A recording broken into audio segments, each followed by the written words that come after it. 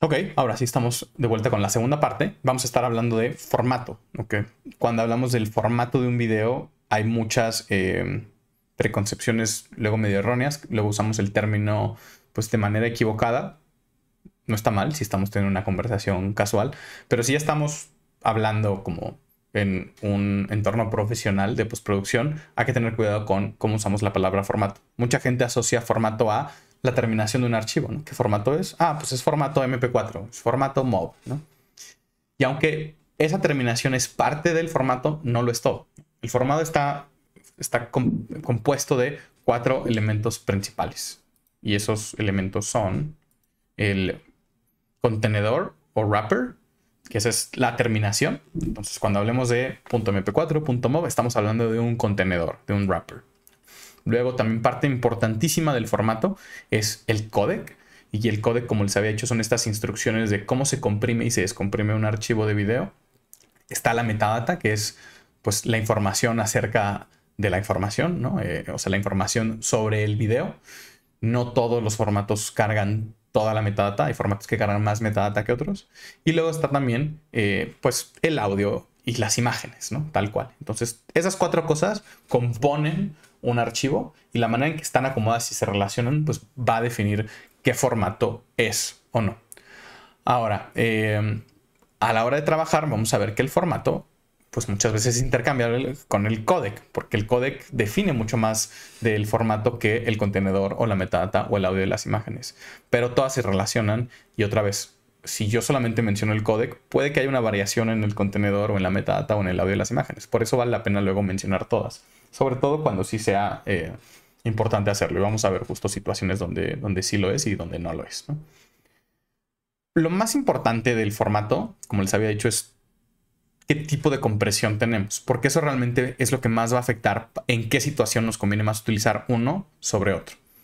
Hay dos principales categorías de compresiones y las han experimentado en algún momento de su vida en una computadora.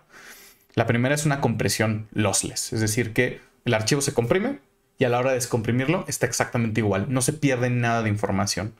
Este sería el equivalente a que si yo tengo que acomodar cosas en la maleta, bueno, en la cajuela de un, de un carro, eh, en lugar de abandonar algo, pues simplemente saco todo, lo reacomodo de una manera muy particular para que sí quepa perfectamente. Eso es lo que hace una compresión lossless. Acomoda la información de un archivo de tal manera que ocupe menos espacio, ¿no? De una manera que es más eficiente en cuestión de espacio, pero que a lo mejor es imposible de leer. De hecho, muchas veces ese es el sacrificio, ¿no? Mientras el archivo está comprimido, no se puede leer y para leerlo hay que descomprimirlo. Entonces, esa es la compresión lossless. ¿Dónde la vemos todo el tiempo? Cuando mandamos un archivo zip, por ejemplo, ¿no? Que metemos varios archivos en una carpeta, comprimimos esa carpeta, la mandamos por correo, la persona que la recibe la descomprime y tiene sus archivos completamente intactos, pero no puede visualizar los archivos sin antes descomprimir la carpeta. Esa es una compresión lossless. En video casi no tenemos, o sea, el 99.99% de los videos no tienen compresión lossless, ¿ok? Porque la compresión lossless es muy lenta de hacer, o sea, de comprimir y de descomprimir. Para hacerla más rápida necesitaríamos computadoras mucho más fregonas y pues la verdad es que la mayoría de las personas no tendrían acceso a esa tecnología porque sería muy muy cara, muy poco práctica, entonces tenemos que buscar otro tipo de compresión. Y el otro tipo de compresión, que es la que está en el 99.99% de los videos, es una compresión lossy. Es decir, que a la hora de comprimir estamos desechando parte de la información información que ya no vamos a poder recuperar nunca, pero que nos va a ayudar a mantener el archivo con un peso adecuado para poderlo mandar, para poderlo almacenar, para poderlo transmitir, ¿no? Entonces, este, ¿qué información se desecha o no? Eso lo va a definir el codec, ¿no? Según el codec que estemos utilizando es qué tanta información se desecha, qué tanto se comprime, pero también qué tipo de proceso usa para esta compresión, ¿ok? Entonces, o sea, ya habíamos dicho que es un codec, es eso, ¿no? Un codec es, la palabra codec significa compressor, decompressor, ¿no? codec. Entonces son las instrucciones que sigue un archivo para comprimirse y luego descomprimirse cuando se reproduce. Hay muchos códecs. La realidad es que en el mundo profesional no usamos tampoco tantos y, y hay códecs que son mejores que otros para ciertas situaciones. Entonces no existe el mejor codec de todos, es el mejor codec dependiendo de la situación. ¿Y cuáles son estas situaciones? El mejor codec a la hora de grabar el material, el mejor codec para editar y el mejor codec también para entregar. O sea, cuando ya lo vamos a mandar a alguna plataforma, hay codecs que son mejores que otros. De hecho, en ciertas situaciones, sobre todo en ese punto de la entrega, si es un Netflix, si es un YouTube, si es un eh, televisión, nos van a pedir un codec específico, un formato específico para la entrega y hay que saberlo eh, cumplir. Bueno, vamos a ver una lista así de codecs muy comunes y en qué momentos se utilizan. Hay uno que es quizás el más utilizado hoy en día, que es el H.264. Este codec, eh, básicamente el 99% de los archivos que vean que tienen terminación MP4 tienen este, están usando este codec. Esa es una cuestión donde sí hay una relación muy fuerte entre el wrapper y el codec. Antes había otros codecs que utilizaban el wrapper MP4, hoy en día ya casi no hay, entonces es muy seguro, pues muy, eh, muy, pues sí, es muy seguro asegurar que los, que los archivos que terminan en .mp4 tienen un codec H.264. Ahora, no es el mejor codec de captura ni de edición. Es un codec que está principalmente pensado para la entrega porque es un codec que comprime mucho el material o que lo, que lo suele comprimir mucho. Entonces es un codec que está pensado principalmente para entrega. Porque sí es una muy buena relación entre cuánta calidad se pierde contra cuánto, eh, qué tan ligero se vuelve el archivo. La verdad es que se vuelve muy ligero y tampoco se sacrifica tanto la calidad de, manera visual. Entonces es un muy buen compromiso, ¿no? Eh, es el codec que más se utiliza para subir videos a internet, pero es un codec que estaba diseñado cuando el estándar era Full HD. Con resoluciones más altas, pues ese mismo algoritmo de compresión no es tan eficiente. Entonces hay una nueva versión que es el H.265 y ahí entre paréntesis les, les dejo como otras maneras de, en las que nos referimos a este codec. La realidad es que H264 lo van a encontrar siempre como H264, pero H265 sí lo van a estar encontrando o como H265 o como HEVC, que significa High Efficiency Video Codec. Como que la gente que lo hizo quiere, está empujando mucho a que usemos ese nombre, pero pues la gente que ya se había aprendido H264, pues es más fácil decir H265. H265 es un codec mucho más comprimido, pero que sacrifica todavía menos la calidad. ¿Cuál es el sacrificio? Tarda un poco, un poco más en, comprimirse. Entonces, si yo estoy comprimiendo un archivo o, transcodificando un archivo o exportando un archivo directamente a un codec H.265, se va a tardar más que para otro tipo de codecs, inclusive más que en H264. Entonces, eh, ese es como el sacrificio. Si no tenemos ese problema, es un muy buen codec para entrega, otra vez, porque no se sacrifica mucha calidad y sí se hace un archivo mucho más ligero. Esto quiere decir que va a ser mucho más rápido subirlo a plataformas de internet, va a ser mucho más rápido este, mandarlo ¿no? Eh, de un disco a otro, ¿no? si quiero hacer una transferencia del archivo, o sea, como local, y también va a ser mucho más fácil de streamearse ¿no? en vivo, porque es más ligero no solamente en el tamaño, sino también en lo que se llama bitrate, que lo vamos a ver más adelante. Hay otro codec que es uno de los más, más este, utilizados en la postproducción, quizás el más utilizado, que es Apple ProRes, ¿no? Y es un codec precisamente diseñado por Apple, ¿no? Para Final Cut, pero que existe también en otros programas de edición profesionales, como Media Composer, como DaVinci Resolve, como este Premiere Pro. Es un codec que le llamamos codec mezzanine, porque se puede utilizar muy fácilmente en todas las etapas, ¿no? Aunque realmente hay muy pocos dispositivos que pueden capturar directamente en Apple ProRes, es un codec en el que sí será conveniente grabar, simplemente porque guarda muchísima información. es un buen codec de edición, de hecho es de los mejores codecs para, para editar y también puede ser un buen codec de entrega, sobre todo si estamos buscando tener la mayor calidad posible, si no nos importa tanto la cuestión del peso. Esto sobre todo suele ser como para eh, un entregable que va a ir para un archivo, ¿no? un entregable que se va a reproducir eh, en una computadora ¿no? Eh, o en un proyector de cine también, por ejemplo. No es el estándar para cine, pero sí se puede reproducir en un reproductor de cine y se va a ver muy bien porque no comprime mucho y no se pierde casi nada de calidad. ¿Cuál diríamos que es como la desventaja de Apple ProRes? Como es un codec propio de Apple, las empresas que lo utilizan tienen que pagar eh, una licencia a Apple, ¿no? Para utilizarlo. Entonces, no todos los programas pagan esa licencia y lo utilizan. Eh, la alternativa, digamos, como un equivalente eh, de Apple ProRes que sí vamos a encontrar en los programas que no tienen ProRes es DNxHR, que este es un códec que es propio de, de Avid, ¿no? la empresa que hace Media Composer uno de los estándares de, postproducción, sobre todo en Estados Unidos, aquí en México no tanto. Pero bueno, su codec de NXHR es muy, muy equivalente a Apple ProRes. Hay dos versiones, de NXHR y de NXHD. DNxHD ya es una versión obsoleta que se puede seguir utilizando y sobre todo como para algunas producciones, digamos, este, legacy, pues todavía tienen material en ese codec, pero eh, Media Composer y Avid en general recomiendan mejor utilizar DNxHR. Es muchísimo más flexible, es más eficiente y es mucho más similar a Apple ProRes. Y es un codec mezzanine también, lo podemos ocupar para captura, aunque ahí sí van a pelearse mucho encontrando una cámara que pueda grabar directamente en DNxHR. Este, pero es un codec que también funciona excelente para edición y que también puede ser muy bueno para entrega. El wrapper de Apple ProRes suele ser MOB, de hecho es casi exclusivamente MOB. Pero el wrapper de DNxHR es, eh, varía más. A veces podemos encontrar DNxHRs con un wrapper MOB, pero es muy común encontrarlos con un wrapper que es MXF, que significa Media Exchange Format, que es muy común para luego codecs más avanzados. Em, otro códec que es muy similar al H264 y al H265 es el BP8 y el BP9, que aunque no son muy comunes a la hora de trabajar, es el códec en el que están comprimidos la mayoría de los contenidos que están en YouTube.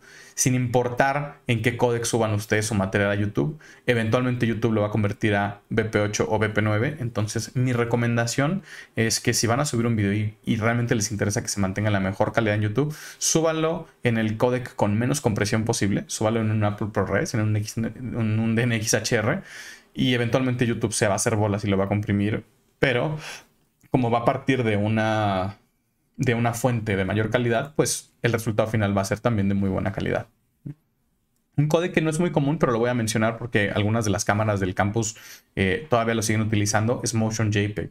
Motion JPEG es un códec muy poco eficiente, de hecho es un ejemplo de un códec poco eficiente, es decir, que sí se pierde calidad, pero no se gana mucho en cuestiones del peso del archivo, pero eh, es un códec que se puede utilizar muy, muy bien para edición, ¿no? Entonces, por ejemplo, la cámara que tenemos que lo utilices la 5D Mark IV, cuando graban videos en 4K, se graban en el codec Motion JPEG y está pensado sobre todo para que sea fácil pasar de los archivos de cámara así directo y meterlos a edición. Eh, hay un codec que también es muy similar a Apple ProRes y XHR, aunque no es tan popular, no porque sea malo, sino simplemente porque no se ha adoptado tan, tan rápido todavía, es el Cineform, que lo compró recientemente, recientemente hace como 10 años, lo compró GoPro. Eh, el problema es que como que la gente lo hago, lo asocia con GoPro y no lo asocia como con, algo profesional, pero Cineform es de los mejores códecs de trabajo, sobre todo para la industria de efectos visuales. Les gusta mucho trabajar con Cineform y también cuando se hacen transfers de, cinta de 35 milímetros a, a, videos digitales, se suelen hacer también en Cineform porque es de los que menos comprime y de los que mayor, eh, más garantiza la calidad. ¿okay? Entonces es un buen codec de captura, es un buen codec de edición, es un buen codec de entrega, pero es muy, muy pesado. ¿ok? Eh, Sony tiene un codec muy propio, que es el XABC. Eh, o tiene ahí luego también apellido, ¿no? A veces está como XABCS, XABCH, ¿no? Pero vaya, es un códec propio de Sony que utilizan todas las cámaras de Sony, incluida por ejemplo la Sony 7R2 que tenemos ahí en el campus.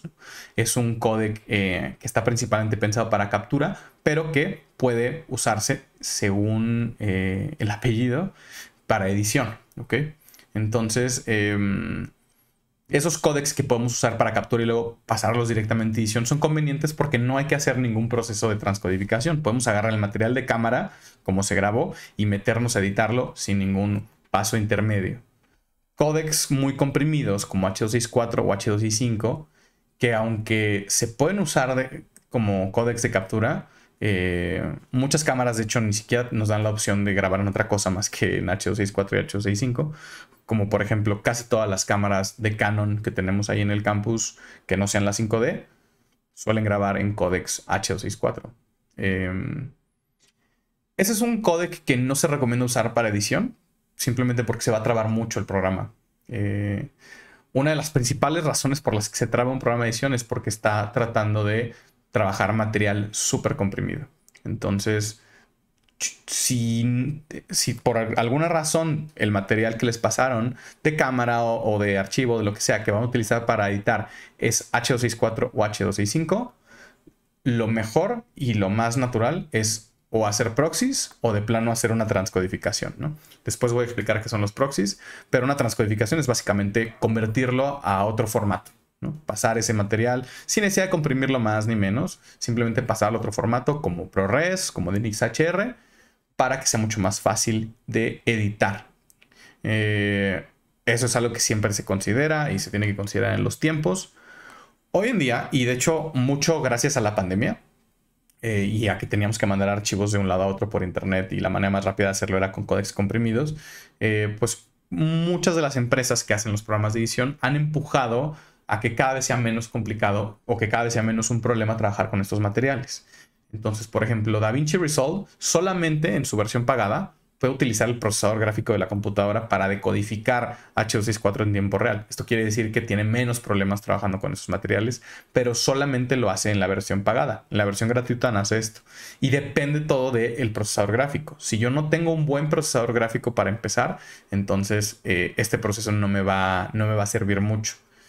Premiere igual, o sea, tiene ya un poquito más de un año que también o sea, metió una actualización para poder hacer codificación y decodificación de H264 y H265 por medio del procesador gráfico.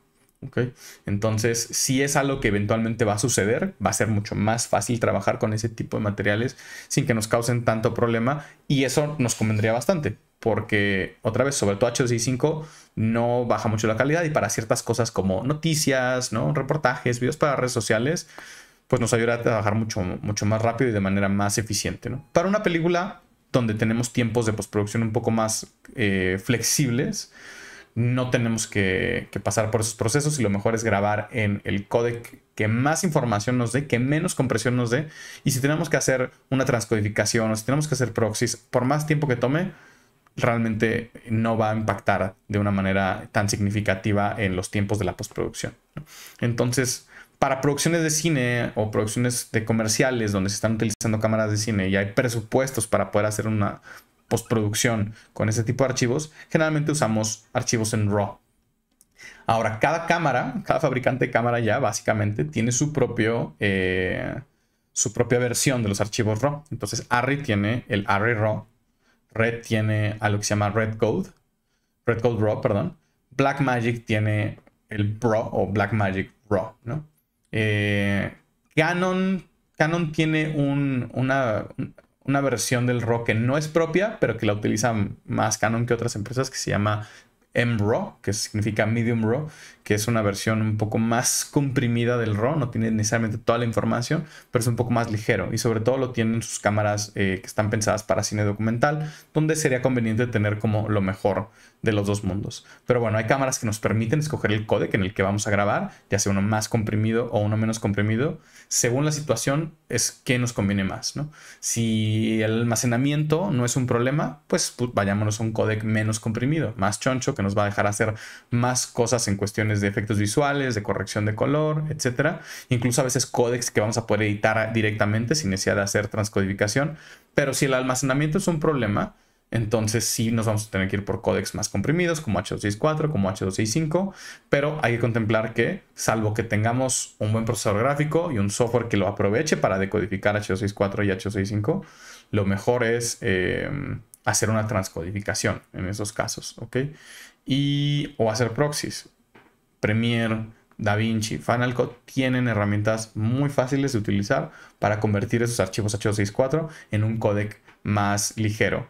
Pero sí es importante sí hacer ese paso, porque si no, entonces pues, nos estamos metiendo el pie o nos estamos amarrando el brazo en la espalda sin necesidad, ¿ok?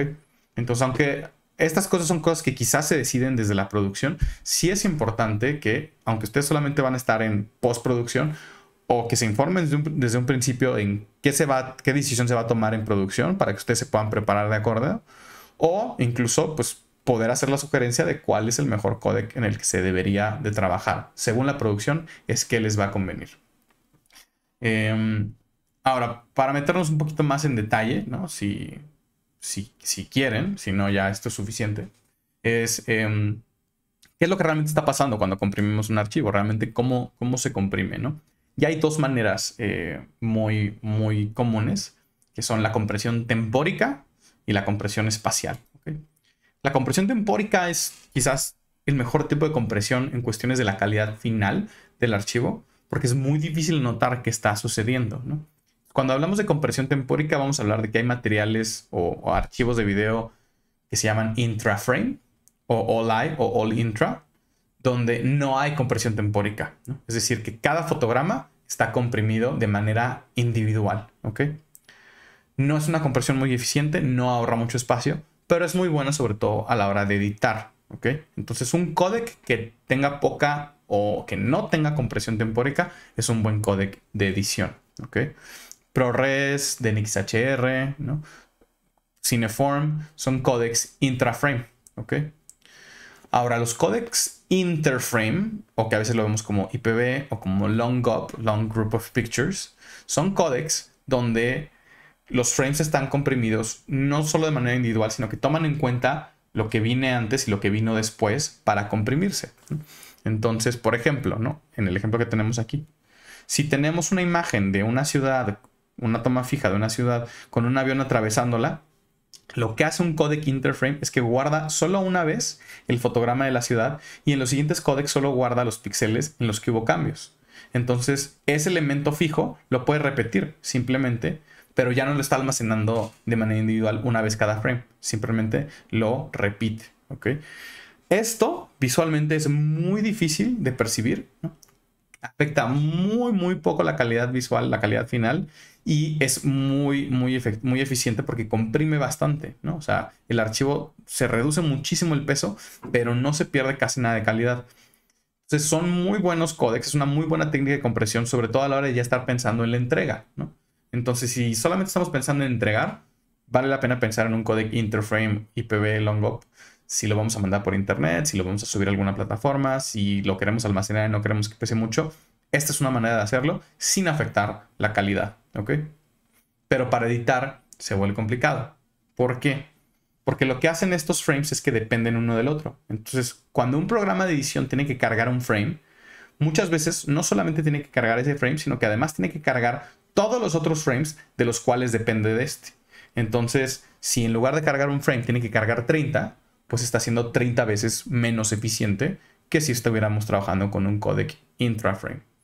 Entonces, esa es la, razón por la que vamos a preferir codecs intraframe, all I, all intra para editar y codecs interframe IPv longup para entregar.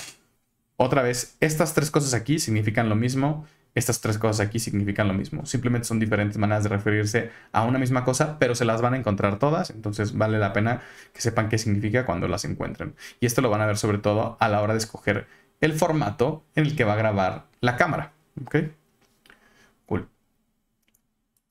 Es otra manera de visualizarlo y esa es la razón por la que se llama IPV, que es más bien sería como IPVBBB, PBBB, que es básicamente eh, tenemos frames que son intraframes, frames que se comprimen de manera individual. Luego tenemos en azul frames predictivos, es decir, que son frames que están completamente generados de información de los frames que vienen antes o después.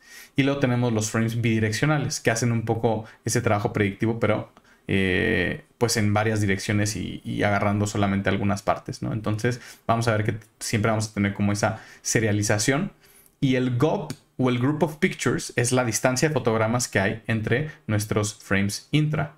Entre más largo sea ese GOP, menos eficiente va a ser nuestro codec a la hora de editar, porque va a estar más comprimido.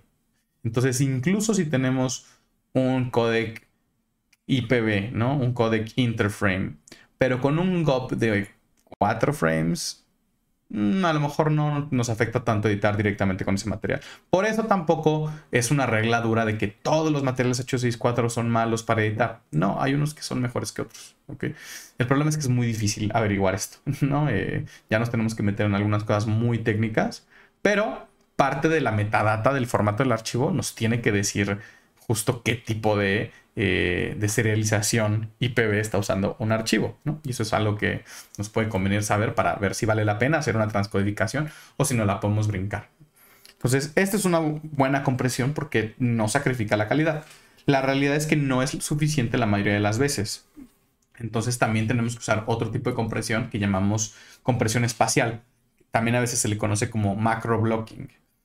Y esto lo que hace es que en, una en cada fotograma individual buscamos píxeles que sean similares, los agrupamos y guardamos solo la información de uno y se repiten todos los demás. básicamente lo que hacemos es buscamos macro bloques de píxeles y en lugar de que tengan cada uno su valor individual, simplemente repetimos el de cada uno. Si lo hacemos con grupos pequeños, es muy difícil de notar, sobre todo cuando la imagen está en movimiento. Entonces es una manera mm, sneaky pero buena, ¿no? De, de hacer compresión. El problema es cuando tenemos que hacer demasiada compresión de macro blocking, estos grupos de píxeles se tienen que hacer más grandes y entonces es cuando ya se empiezan a notar, ¿ok? Y aquí lo vemos como una escala de izquierda a derecha de menor a mayor compresión con macro blocking. Esto realmente, o sea, como por más que parezca que es una cosa súper técnica y súper ñoña y súper innecesaria, sí tiene implicaciones en como en situaciones reales, ¿no? Y de hecho, lo más probable es que muchos y muchas de ustedes hayan sido eh, testigos y testigas de un momento en el que alguien no se fijó en esto y tuvo repercusiones muy, muy negativas. Y eso fue en el tercer episodio de la última temporada de Game of Thrones, que es creo que la batalla de Winterfell. Es un episodio que sucede casi principalmente de noche y hay muchas tomas en movimiento y además a la mitad del episodio empieza una tormenta de nieve. Que esas básicamente son las tres peores Em, las tres peores situaciones ¿no? para comprimir un video. Porque cuando hay una tormenta de nieve hay muy pocas cosas en la imagen que se repitan. Entonces no se puede hacer mucha compresión interframe. Eh, y la otra es que cuando todo está oscuro suele haber muy poca variación de colores. Entonces el proceso del macro blocking es mucho menos preciso y va a agarrar y va a agrupar cosas que no necesariamente tendrían que agruparse. Entonces pues terminamos con una calidad casi imposible de ver, que eso es lo que sucedió con, eh, con el estreno en televisión de ese episodio. Hubo muchas quejas de la gente diciendo se ve horrible, está muy mal hecho y simplemente porque no tuvieron esa consideración, ¿no? ¿Qué tenían que haber hecho? Pues tenían que haber tomado decisiones desde la producción para no hacerlo tan oscuro, reducir las situaciones en las que estaba la tormenta, porque si la salida principal de Game of Thrones en ese momento era su distribución a través de la televisión y se tiene que entregar en un código específico que ya de por sí tiene bastante compresión, entonces hay que grabarlo en una situación en la que esa compresión no vaya a afectar de manera tan drástica la calidad final del proyecto, ¿no? Entonces, bueno, esa es una situación en la que eh, esta situación afectó demasiado a un proyecto nivel profesional, pero bueno. Esa temporada de Game of Thrones, no les tengo que decir, estuvo plagada de un montonal de oversights y de errores de ese tipo. Eh, y bueno, para que sepan, para que vean también que hasta en esos, hasta en esos niveles pasa, ¿no? Pero si ustedes no cuidan esta parte en su proyecto, pues se pueden, eh, pues sí, no le van a estar como dando a su audiencia la mayor calidad posible, ¿no? Sobre todo cuando sí está dentro de su control o dentro de su, de su rango de acción, poder hacer algo para mejorar esa calidad. Em, les dije que íbamos a mencionar algo del bitrate, ¿ok? Porque cuando hablo de la compresión, sí hacemos que el archivo sea más pequeño, pero también la compresión lo que hace es que el bitrate sea más ligero. ¿Y qué es el bitrate? Es la tasa de bits, es la información que se está leyendo cada segundo para poder reproducir ese video. Eso va a afectar, por ejemplo, si se está leyendo el archivo desde un disco duro, ver si la velocidad, si el bitrate que tiene nuestro archivo sí puede pasar por esa conexión sin empezarse a trabar. Y también sobre todo cuando estamos streameando los contenidos, ya sea de plataformas, ¿no? Eh, como HBO Max, ¿no? O Netflix o incluso YouTube, ¿no? O sea, cuando estamos no descargando el archivo, sino streameándolo, realmente lo que estamos haciendo es descargando pedacitos y reproduciéndolos eh, casi de inmediato, ¿no? Si nuestro video tiene un bitrate muy alto, no se van a poder descargar esos pedacitos lo suficientemente rápido. Entonces va a estar trabando y trabando y trabando el video y no va a ser la mejor experiencia para nuestra audiencia. Entonces, muchos de los códecs lo que procuran es tratar de tener un bitrate bajo. Y por eso es que tienen que jugar con ese dos, esos dos tipos de compresiones, compresiones espaciales y compresiones eh, tempóricas. Cuando se comprimen los archivos, hay dos tipos también de compresión, que es la compresión variable y la compresión constante. La compresión constante lo que va a hacer es que va a aplicar el mismo proceso para todos los frames, independientemente de cuál, eh, de qué haya en la imagen. Entonces todos van a tener el mismo tipo de compresión y eso va a hacer que unas partes se vean mejores que otras. Porque no todos los frames requieren el mismo tipo de compresión para, o sea, como para hacerse más ligeros, ¿no? Hay unos que con poquita compresión se harían muy ligeros y se verían exactamente iguales, pero bueno, ¿no? Esa es la compresión constante. Casi no se utiliza. La que más utiliza es la compresión variable. Y la compresión variable lo que hace es que, eh, pues, en frames en los que se necesite comprimir más, se comprimen más, frames que se puedan comprimir menos, se comprimen menos, y entonces trata de mantener la mayor calidad posible durante todo el proyecto, pero siempre buscando una meta, ¿no? O sea, a los dos tipos de compresión variable y constante se les asigna una meta de un bitrate, de cuál es el bitrate promedio al que tendría que estar llegando, e incluso a veces les puede poner un límite superior, ¿no? En caso de que sea necesario. Eh, y, y eso se pone en los programas de edición. Cuando estamos exportando en estos formatos comprimidos, podemos escoger si queremos que la compresión sea constante o variable y si queremos y cuál queremos que sea como el bitrate meta, ¿no? Lo podemos pensar un poco como un cuello de botella, ¿no? O sea, si tenemos un bitrate muy alto y se, puede hacer básicamente eso, un embudo y entonces ya no se puede leer a la velocidad deseada. Esa, ese cuello de botella puede ser la velocidad de internet si se está streameando o la velocidad de conexión de un disco duro con la computadora si se está reproduciendo desde justo un disco duro, ¿no? Entonces, eh, pues sí, eso es una cosa también importante a considerar. Ya la última parte de los formatos, como les había dicho, son los wrappers, ¿no? Que son las terminaciones de los archivos. Ya les había dicho que la mayoría, pero gran, gran mayoría de los archivos que terminan en MP4 o en M4B, eh, son, están utilizando el codec H264, ¿no? O H265. Entonces es muy fácil como, como poder aseverar como este es un archivo MP4, tiene un codec H264. Es muy fácil de determinar. Con el codec de QuickTime, o sea, el punto .mov, es un poco más difícil ver cuál es porque puede ser H264, puede ser ProRes, pueden ser DNxHR, ¿no? O sea, pueden ser muchas cosas. Y luego el MXF es el otro wrapper más común, ¿no? Hoy en día ya en la producción audiovisual. Y les digo, este generalmente suele ser eh, para, para archivos, este, para archivos que tienen el codec de NXHR, ¿no? O algunos propios también de Sony o, de Canon, ¿no?